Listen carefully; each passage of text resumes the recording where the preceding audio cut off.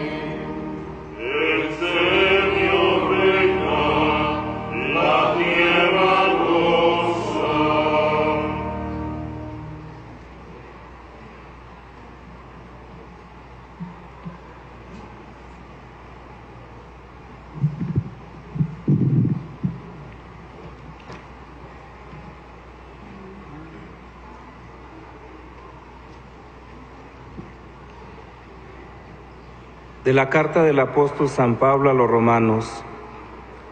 ¿Quién podrá apartarnos del amor de Cristo? La aflicción, la angustia, la persecución, el hambre, la desnudez, el peligro, la espada. En todo esto vencemos fácilmente por aquel que nos ha amado.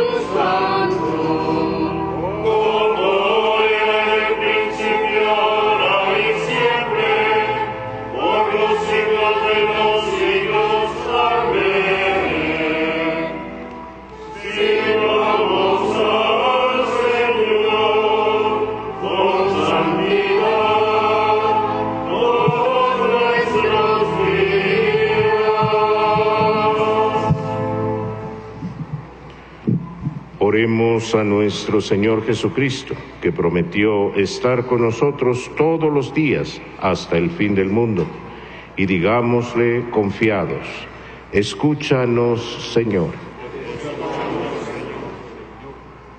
Quédate con nosotros, Señor, durante todo el día. Que la luz de tu gracia no conozca nunca el anochecer en nuestras vidas. Escúchanos, Señor. Que el trabajo de este día se- sea como una oblación sin defecto y que sea agradable a tus ojos. Escúchanos, Señor.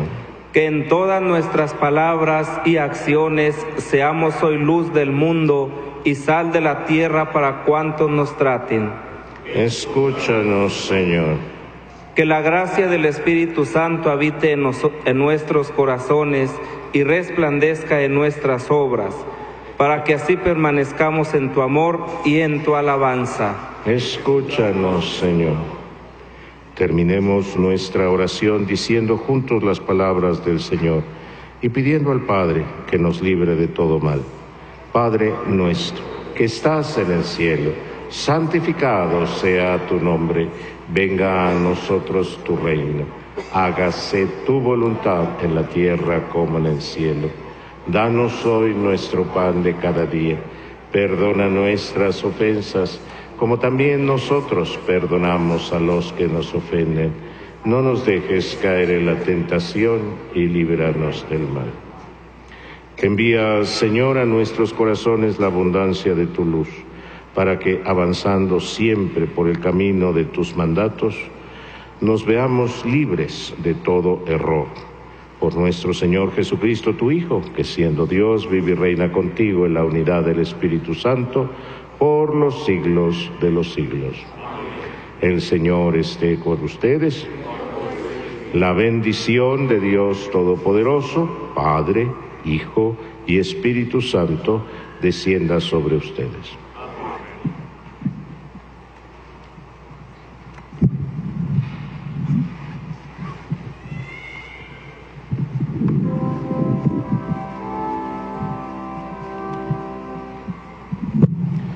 Salve, oh Reina.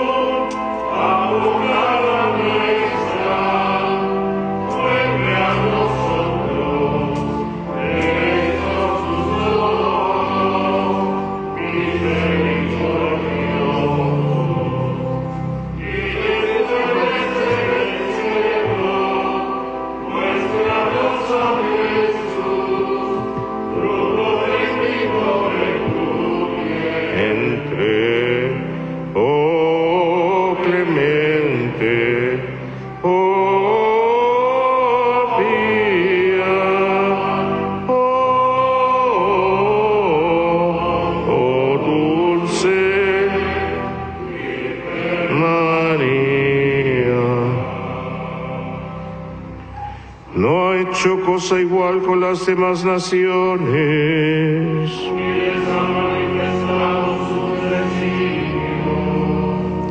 Oremos.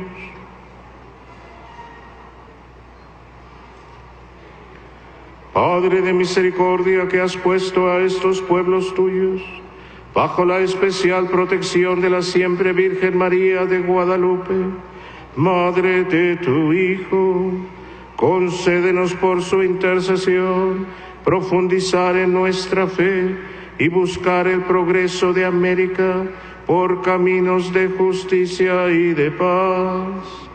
Por Jesucristo nuestro Señor. El auxilio divino permanezca siempre con nosotros.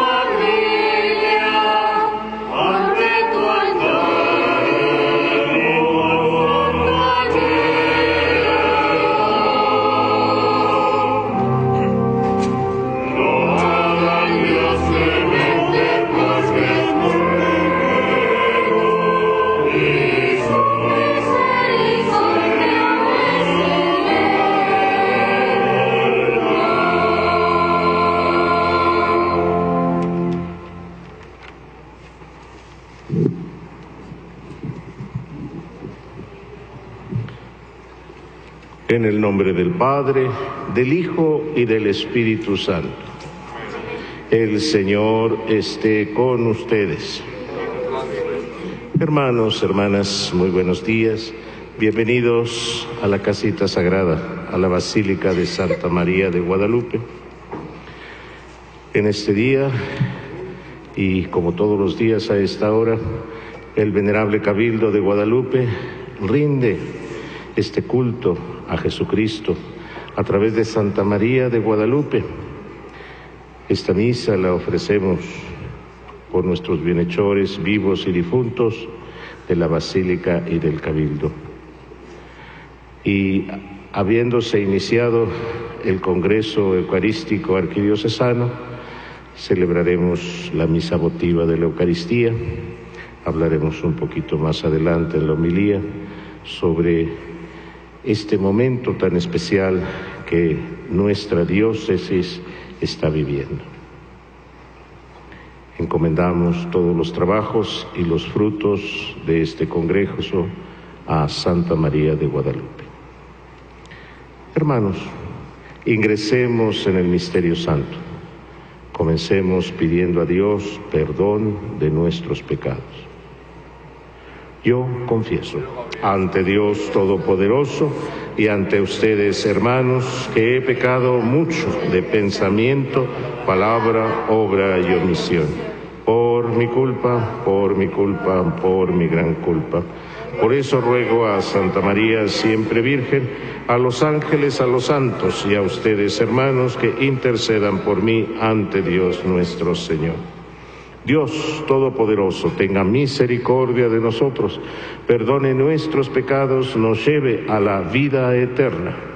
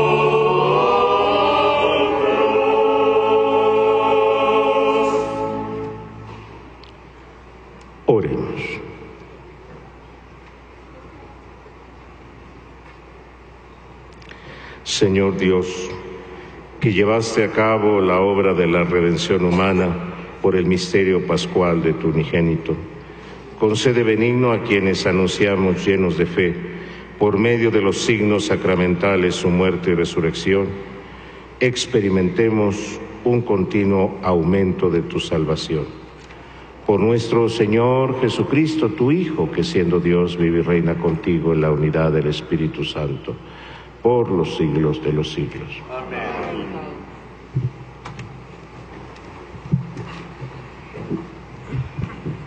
Del primer libro de los reyes. En aquellos días, el rey Ahab envió mensajeros a todo Israel y reunió a los profetas de Baal en el monte Carmelo. Elías se acercó al pueblo y le dijo, ¿hasta cuándo van a estar indecisos? Si el Señor es el verdadero Dios, síganlo. Y si lo es Baal, sigan a Baal. Pero el pueblo no supo qué responderle. Entonces Elías les dijo, yo soy el único sobreviviente de los profetas del Señor. En cambio, los profetas de Baal son 450. Que nos den dos novillos, que ellos escojan uno, que lo descuarticen y lo pongan sobre la leña sin prenderle fuego. Yo prepararé el novillo y lo pondré sobre la leña sin prenderle fuego. Ustedes invocarán a su Dios y yo invocaré al Señor. Y el Dios que responda enviando fuego, ese es el verdadero Dios. Todo el pueblo respondió, está bien.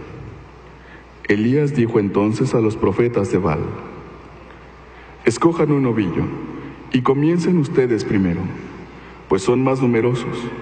Invoquen a su Dios, pero sin prender fuego. Ellos tomaron el novillo que les dieron, lo prepararon e invocaron a Baal desde la mañana hasta el mediodía, diciendo, Baal, respóndenos. Pero no se oyó ninguna respuesta, y ellos seguían danzando y brincando junto al altar que habían hecho.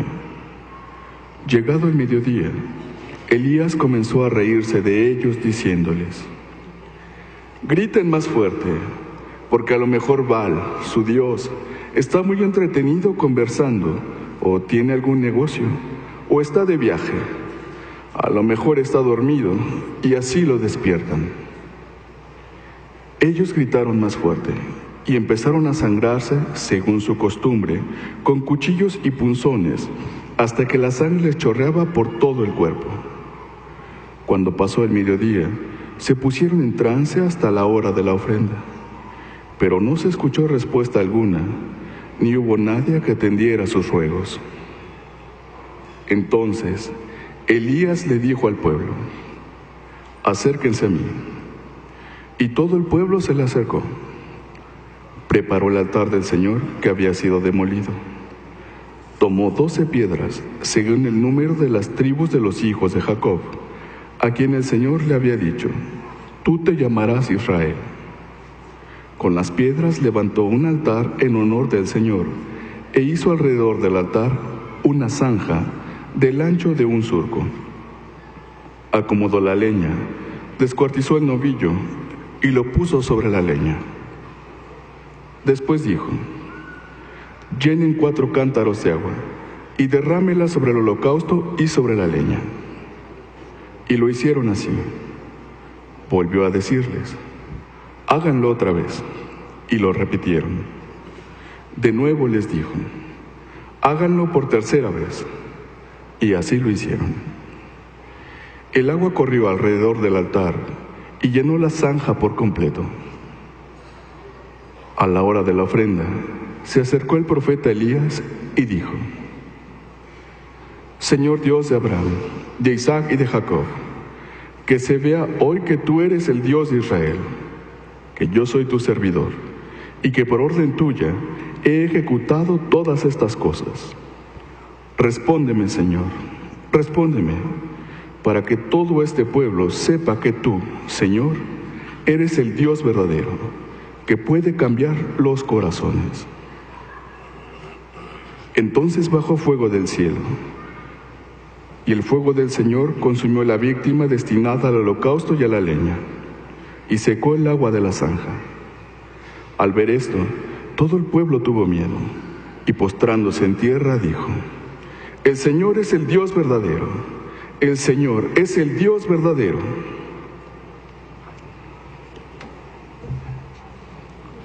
Palabra de Dios.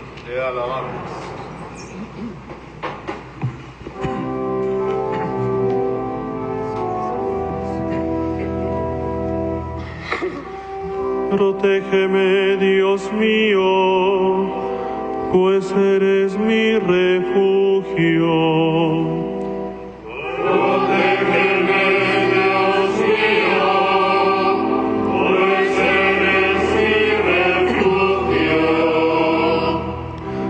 Protégeme, Dios mío, pues eres mi refugio. Yo siempre he dicho que tú eres mi Señor. Protégeme, Dios mío, pues eres mi refugio. Los ídolos abundan y tras ellos se van todos corriendo. Mas yo no he de ofrecerles sacrificios, jamás invocaré sus nombres.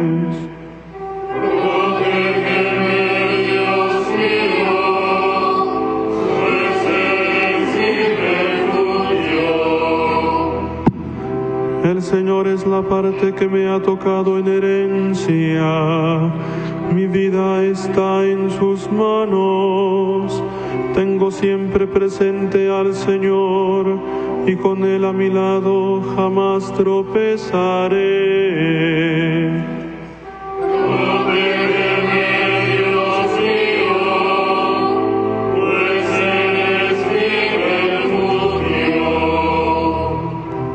Enséñame el camino de la vida, sáciame de gozo en tu presencia y de alegría perpetua junto a ti.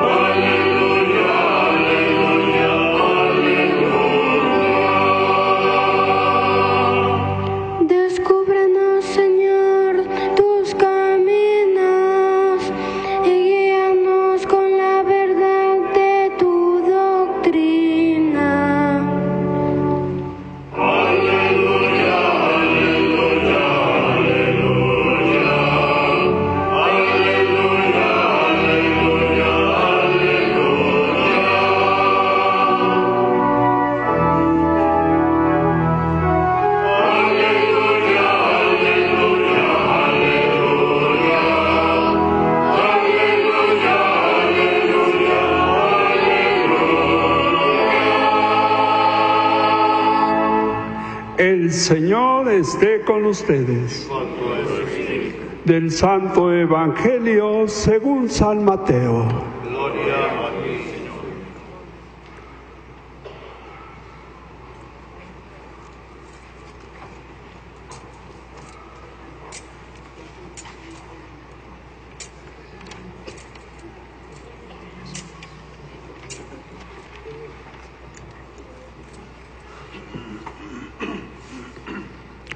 En aquel tiempo Jesús dijo a sus discípulos, no crean que he venido a abolir la ley o los profetas.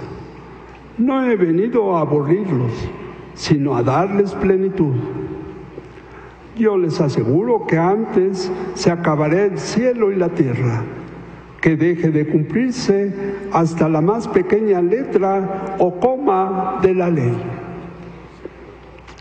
Por lo tanto, el que quebrante uno de los preceptos menores y enseñe eso a los hombres, será el menor en el reino de los cielos. Pero el que cumpla y los enseñe será grande en el reino de los cielos. Palabra del Señor.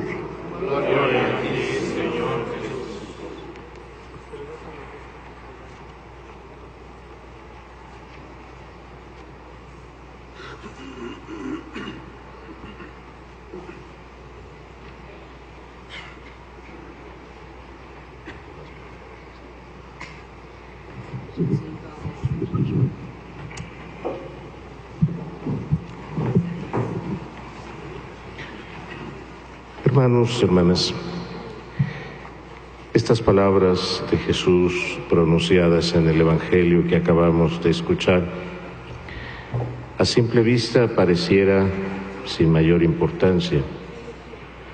Sin embargo, son la clave para entender cómo es que Jesús ha venido a instaurar una nueva creación, una nueva alianza pero tomando en cuenta todo lo anterior, la antigua alianza. Por eso es que hace referencia, no he venido a hacer un lado ni a los profetas, ni la ley que era tan sagrada en el centro de la vida de Israel, he venido a darle plenitud. ¿A qué profundidad nos llevan estas palabras de Jesús? En primer lugar, a entender el principio del Evangelio según San Juan, que nos dice claramente, en el principio existía el verbo, el verbo, la palabra era Dios y estaba desde el principio. ¿Sí? Es Jesús que desde la creación del universo está presente. Lo envuelve todo, lo sintetiza todo, le va dando sentido a toda la creación. Llegará el momento en el cual el verbo se hace carne y nace de María Santísima por obra del Espíritu Santo. No es que llega de repente, sino ya estaba desde el principio. Y estaba ahí en la profundidad de esa ley mosaica, estaba ahí en la acción de los profetas. Y tenemos un grandísimo ejemplo hoy en la primera lectura de cómo Elías ofrece ese sacrificio a Yahvé, a Dios. Y Jesús dará plenitud a ese sacrificio, ya no consistiendo en animales sacrificados, en sangre derramada de la ofrenda de animales, sino Él va a ser la víctima. Él va a derramar su sangre él va a constituir el único sacrificio que va a unir el Antiguo Testamento con la novedad que somos en esta nueva creación, el Nuevo Testamento. Y ahí en las palabras de Jesús hoy vemos contemplado todo su proyecto respecto del reino, ya en este contexto del capítulo 5 de Mateo, que es el Sermón del Monte, Jesús ya nos había indicado los parámetros, quiénes serán los felices, lo que tenemos que ser nosotros como luz del mundo, sal de la tierra. Más adelante nos dirá cómo tenemos que comportarnos, de perdonar, de instaurar el reino. Pues bien, aquí al sentir en la profundidad estas palabras de Jesús que nos dice, vengo a dar plenitud, debemos nosotros reconocer que de qué manera, de qué modo Jesús instauró, inauguró el reino de Dios en la nueva creación.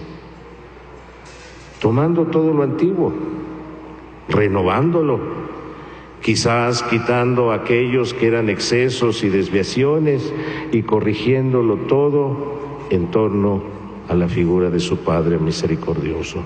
¿Sí? Y esto, hermanos, es muy importante para aplicarlo en nuestras vidas.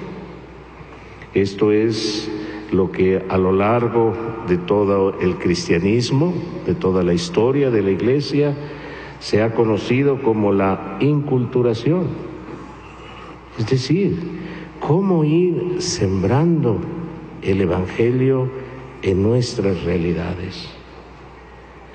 Jesús nos propone básicamente los modos. No tires lo que ya está, conserva lo bueno. Fíjate en las profundidades y en las bases de lo que hay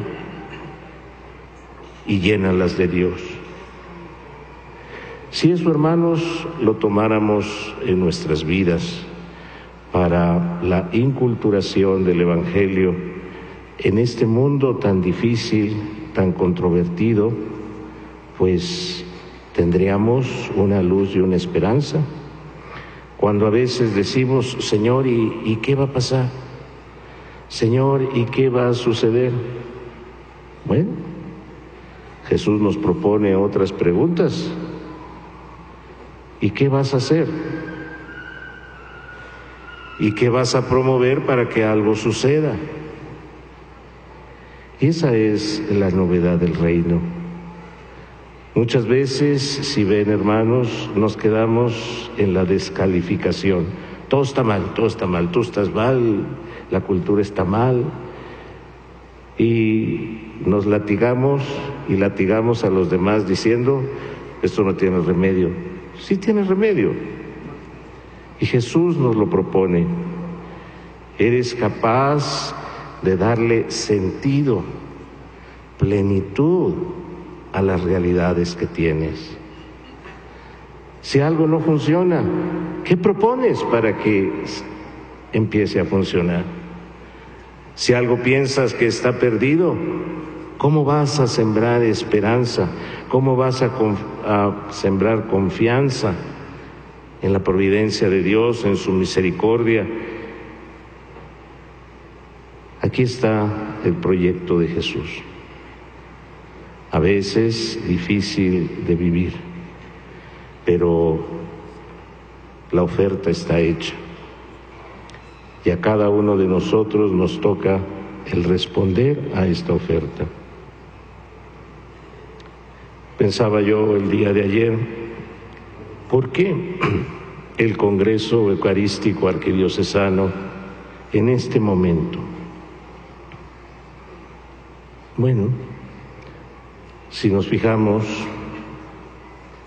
se ha sembrado ya la decisión de lo que será la constitución de esta ciudad. Ha habido elecciones el domingo pasado. ¿Alguien tomó en cuenta esto? ¿Alguien oró a Dios porque sucediera su voluntad, no la nuestra? ¿Y ahora cómo vamos a acompañar a estos electos? ¿Cómo vamos a acompañar este proceso de esta ley que regirá a millones en este Valle de México? Y veía yo que la luz está muy clara. Jesús se hace presente en Eucaristía. Jesús quiere decirnos algo.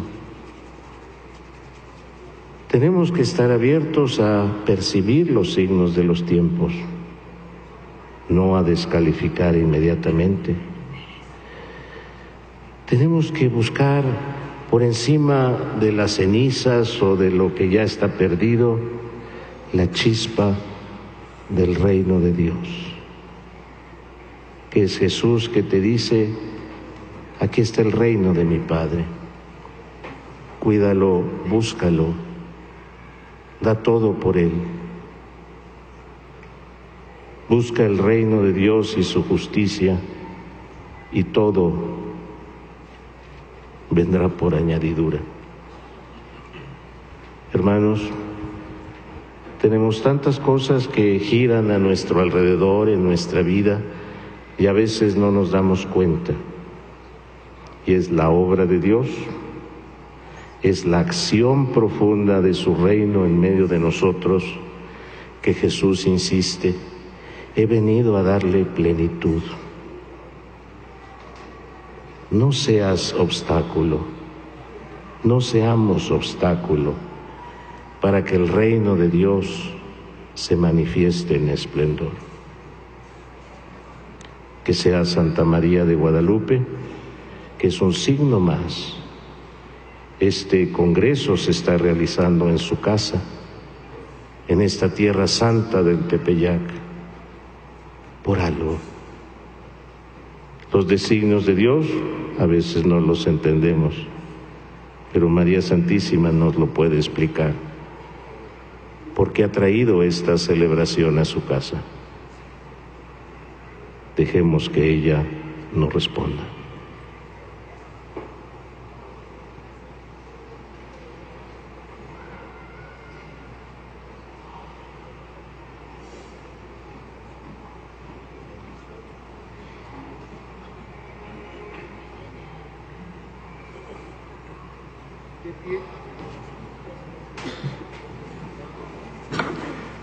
Oremos a Dios nuestro Padre que vela por todas sus criaturas y supliquémosle humildemente diciendo, Padre, escúchanos.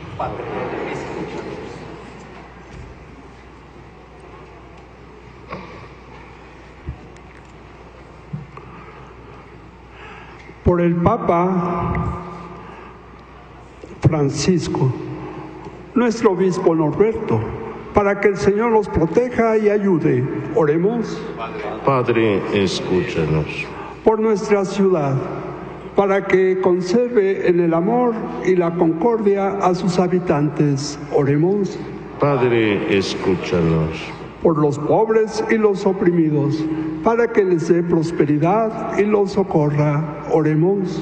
Padre, escúchanos. Por nuestros familiares y bienhechores, para que los recompense con sus beneficios.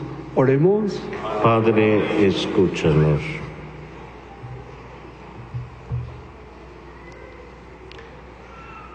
Dios y Señor nuestro, que nos amas con amor de Padre, muéstrenos tu misericordia y concédenos lo que te hemos pedido por Jesucristo nuestro Señor.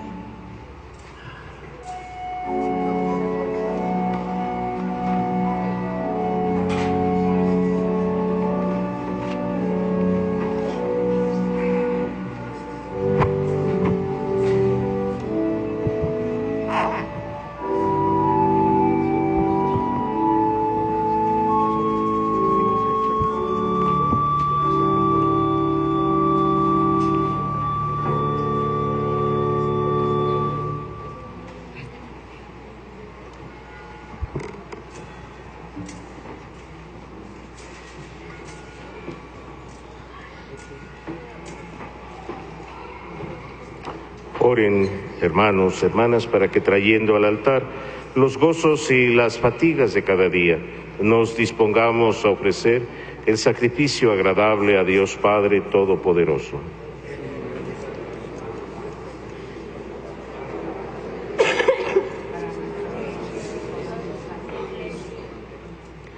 Señor, al celebrar el memorial de nuestra salvación, imploramos humildemente tu clemencia, a fin de que este sacramento de amor sea para nosotros signo de unidad y vínculo de caridad. Por Jesucristo nuestro Señor. Amén. El Señor esté con ustedes. Levantemos el corazón. Demos gracias al Señor nuestro Dios. En verdad es justo y necesario, es nuestro deber y salvación, darte gracias siempre y en todo lugar, Señor Padre Santo, Dios Todopoderoso y Eterno, por Cristo, Señor nuestro, el cual en la última cena con sus apóstoles, para perpetuar el memorial salvífico de la cruz, se ofreció a ti como Cordero Inmaculado. Tú lo aceptaste como sacrificio de alabanza perfecta.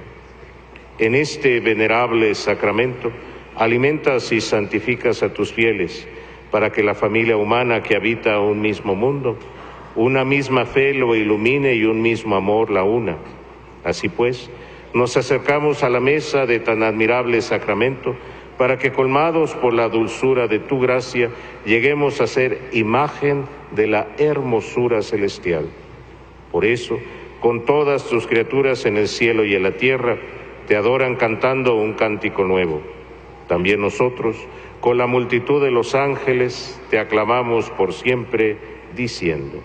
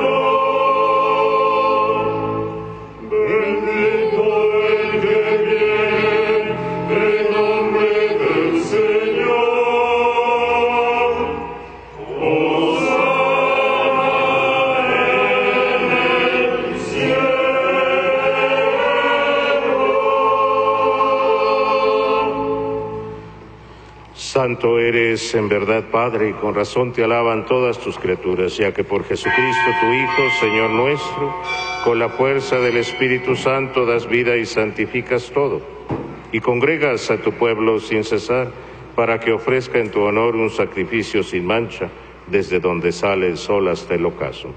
Por eso, Padre, te suplicamos que santifiques por el mismo Espíritu estos dones que hemos separado para ti de manera que se conviertan en el cuerpo y la sangre de Jesucristo, Hijo tuyo y Señor nuestro, que nos mandó celebrar estos misterios, porque él mismo, la noche en que iba a ser entregado, tomó pan, dando gracias, te bendijo y lo partió y lo dio a sus discípulos diciendo, tomen y coman todos de él, porque esto es mi cuerpo que será entregado por ustedes.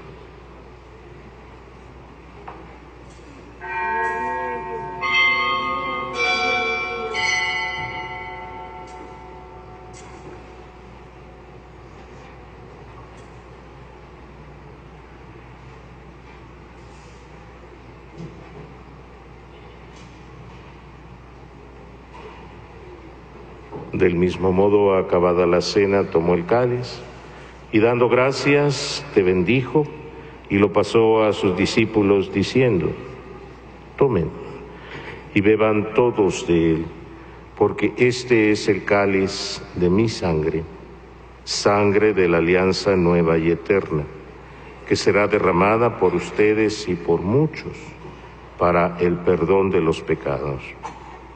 Hagan esto en conmemoración mía.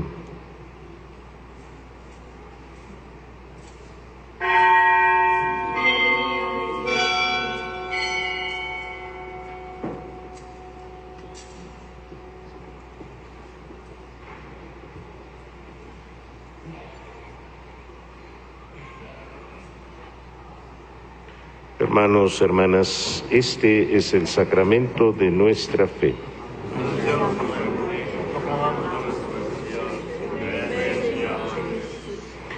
Así pues, Padre, al celebrar ahora el memorial de la pasión salvadora de tu Hijo, de su admirable resurrección y ascensión al cielo, mientras esperamos su venida gloriosa, te ofrecemos en esta acción de gracias el sacrificio vivo y santo.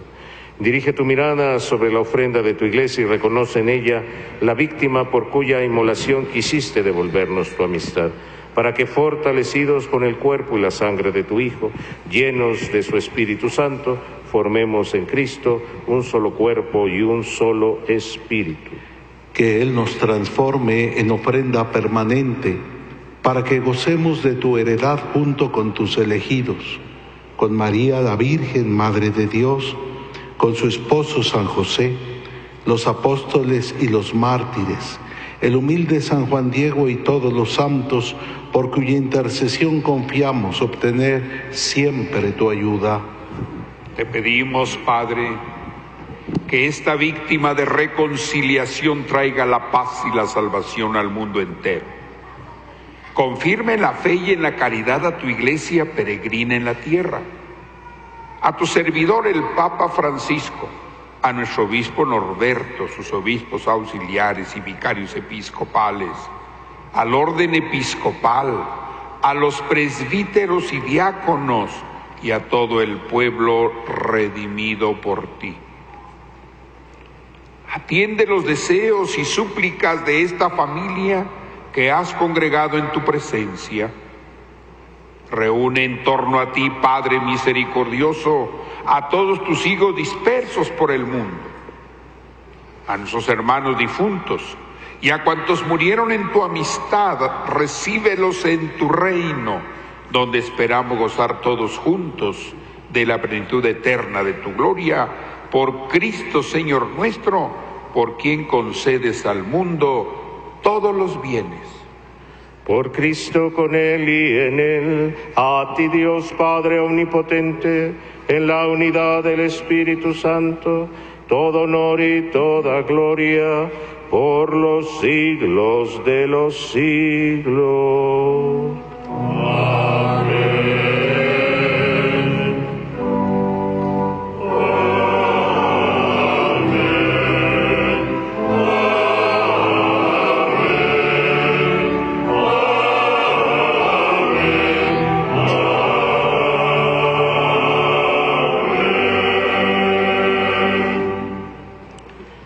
Hermanos, hermanas, fieles a la recomendación del Salvador y siguiendo su divina enseñanza nos atrevemos a decir, Padre nuestro que estás en el cielo, santificado sea tu nombre, venga a nosotros tu reino, hágase tu voluntad en la tierra como en el cielo. Danos hoy nuestro pan de cada día, perdona nuestras ofensas como también nosotros perdonamos a los que nos ofenden. No nos dejes caer en la tentación y líbranos del mal. Líbranos de todos los males, Señor, concédenos paz en nuestros días, para que, ayudados por tu misericordia, vivamos siempre libres de pecado, protegidos de toda perturbación, mientras esperamos la gloriosa venida de nuestro Salvador Jesucristo.